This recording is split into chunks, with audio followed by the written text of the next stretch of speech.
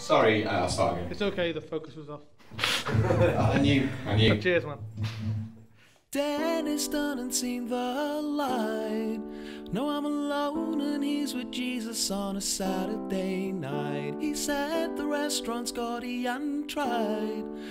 Well, hello, hello, hello's Rennie is ready for knives and watch out the reptiles. They're shedding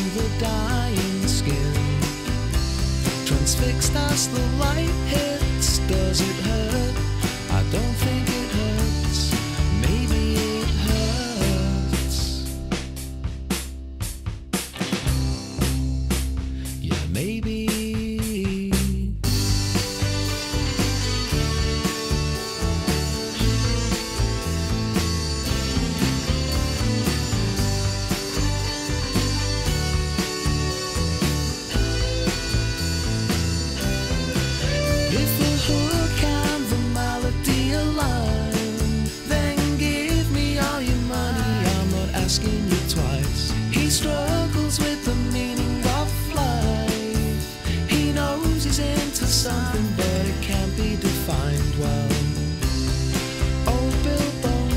Ghost